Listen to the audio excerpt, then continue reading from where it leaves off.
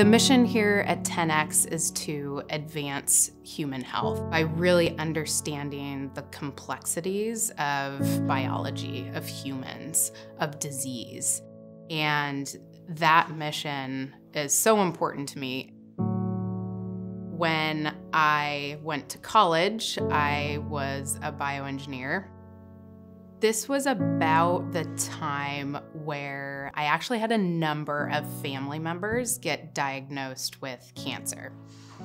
Um, so my my grandma, she had breast cancer early 50s. My great grandmother around this time uh, also got diagnosed. Uh, a year or two later, I had a cousin get diagnosed with uh, breast cancer.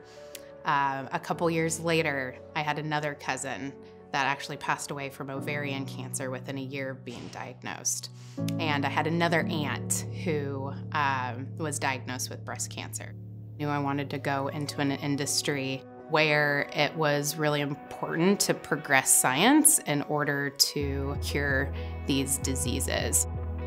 10x has been growing beyond what I could have ever imagined.